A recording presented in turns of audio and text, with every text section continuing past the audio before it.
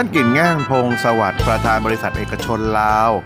ลงทุนปลูกทุเรียนที่บ้านหลัก 24 เมืองปากซอง แขวงจำปาสัก ให้สัมภาษณ์สื่อมวลชนท้องถิ่นครับ ว่าทางบริษัทได้ทดลองปลูกทุเรียนพันหมอนทองจำนวน 300 ต้น บนพื้นที่ 15 เฮกตาร์ โดยในปี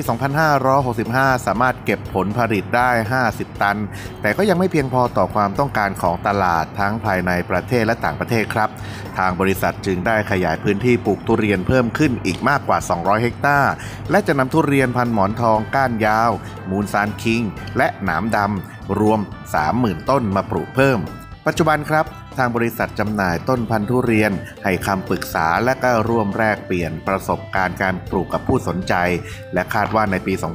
2568 นี้ บริษัทจะส่งออกทุเรียนไปจำหน่ายอย่างจีนในช่วงปี 2564 ถึง 2569 รัฐบาลสปปลาวกำหนดเป้าหมายการส่งออกสินค้าเกษตรจำนวน 9 ชนิดไปยังจีนครับ โดยคิดเป็นมูลค่า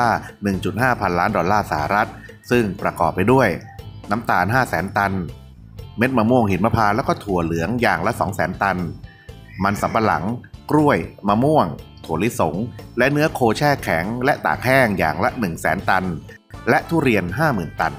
โดยหนังสือพิมพ์เวียงจันทน์ไทมส์ฉบับวันที่ 17 พฤษภาคมที่ผ่านมาได้เผยแพร่บทวิเคราะห์ สถานีวิทยุ CRI FM 93 ของจีนครับ โดยระบุว่าทุเรียนเป็นผลไม้ที่จีนนำเข้ามากที่สุด โดยมีมูลค่า 4,000 ล้านดอลลาร์สหรัฐ ที่เป็นร้อยละ 27.3 ของการนำเข้าผลไม้ทั้งหมดของจีน